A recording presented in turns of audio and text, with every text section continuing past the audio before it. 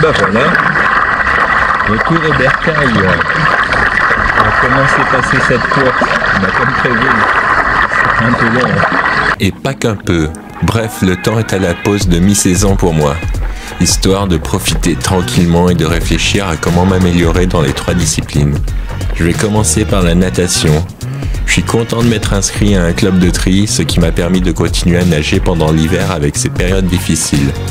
Je profiter du reste de l'été avec mes amis pour filmer ma façon de nager et d'essayer de m'auto-analyser pour voir ce que je peux améliorer. Je vais aussi inclure dans mes sessions de natation de nager en gardant la meilleure technique possible, quitte à faire des longueurs courtes. C'est-à-dire que dès que je sens que ma technique s'écroule, j'arrête, je me repose, puis je repars, quitte à faire que 25 mètres, étant donné que je sais que je peux faire 1500 mètres et puis plus, sans m'arrêter, avec une nage qui est scalée, si je continue à faire exactement la même chose, rien va changer. Bon, pour ceux qui se demandaient où c'est qu'on est, c'est lac de Saint-Cassien. Voilà. Allez. Et maintenant, faire du VTT.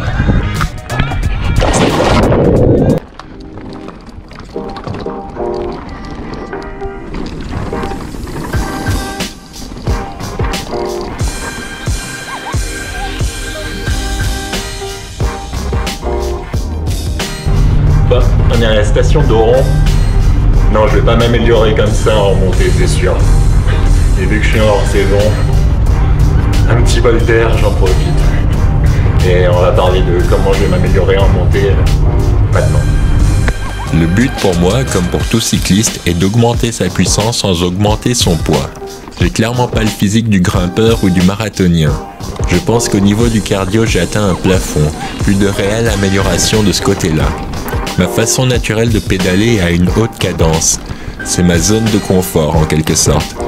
Quelque chose de très simple pour moi sera de ne pas changer de vitesse quand naturellement je vais vouloir garder ma haute cadence lors d'une montée, mais de rester dans ce rapport juste un peu inconfortable pour moi, sans bien sûr passer d'une cadence de 100 à une cadence de 50. Je pense que sur le long terme, ça va payer.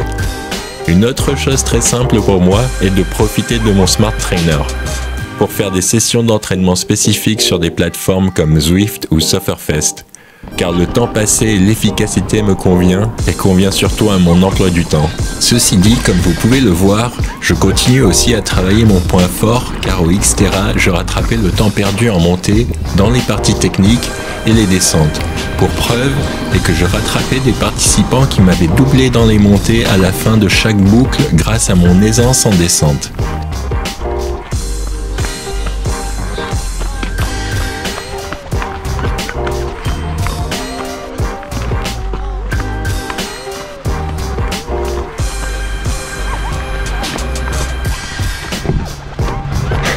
Et donc là, on passe au trail. Donc comment m'améliorer en trail? Faire plus de trail. C'est aussi simple que ça. non, allez, plus sérieusement. Je ne vais pas arrêter mes longs footings le long du canal, mais je pense remplacer une fois sur trois un long footing par un trail. Le but est de m'adapter musculairement aux contraintes un peu différentes de la course à pied classique, ce qui va faire travailler beaucoup plus la charge concentrique et la charge excentrique.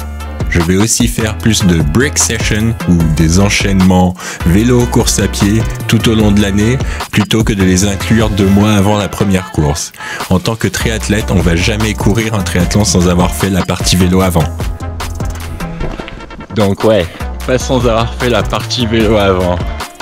Donc si tu sais pas ce que c'est, et que tu veux savoir euh, le ressenti que tu vas avoir lors d'une course de triathlon, c'est simple. Tu as déjà fait une sortie euh, VTT ou arrivé à la moitié ou à la fin du parcours, tu as juste envie de jeter le vélo, dévaliser les placards et le frigo. Ben là, tu fais pas ça. Ce que tu vas faire, c'est que dans les 5 minutes qui suivent, grand max, tu vas enfiler tes chaussures de course à pied et tu vas faire juste un petit 20 minutes de course à pied alors que tu avais envie de jeter le vélo et puis de dévaliser les placards. Juste pour donner un petit ressenti de ce que ça peut être. Donc si tu es nouveau à ça euh, et que tu as essayé, bah laisse-moi en commentaire ton ressenti. Parce que j'ai curieux de savoir si c'est que moi qui trouve ça horrible, mais qui continue malgré tout à le faire. Et au final prend du plaisir à le faire. Ou si c'est assez général en fait, ce début de course à pied euh, où on se sent horrible, on a une forme un peu pourrie. Moi je sais que je talonne pas mal en début de course à pied. Après ça va mieux. Je reprends ma foulée normale. Mais au départ, ouais, je pense que c'est compliqué pour tout le monde.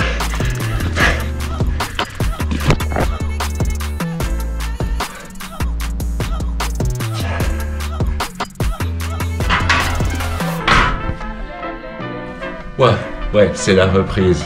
Donc, ouais, le meilleur pour la fin, le renforcement musculaire. En gros, nous, comme age groupers, c'est la première séance qu'on a envie de jeter. Moi, le premier. Mais on va dire que je pense que c'est la plus importante en fait. Ça évite euh, tous les petits bobos, hein, clairement. Le renforcement musculaire. Il faut absolument que je puisse faire une séance de renfort musculaire par semaine.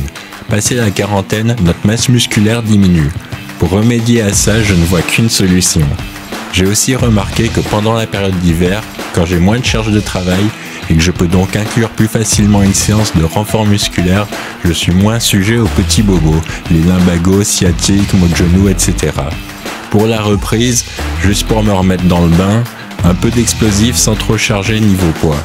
Puis des séances de pure puissance, de courtes répétitions lentes et beaucoup de poids. Puis au fur et à mesure que les courses se rapprochent, graduellement me rediriger par des sessions d'intensité avec plus de répétitions, des mouvements plus explosifs et moins de poids. Donc en gros voilà les grandes lignes de mon plan d'entraînement qui a commencé en décembre. J'expliquerai ça plus en détail d'ici là. Euh, pour le moment avec le travail je vais essayer de maintenir ma forme autant que possible. Euh, c'est pas gagné, je suis en train de me gratter la tête un petit peu.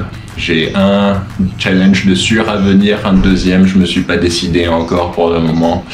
Euh, donc vous allez savoir ça rapidement. Et là, tout pour maintenant. Bye.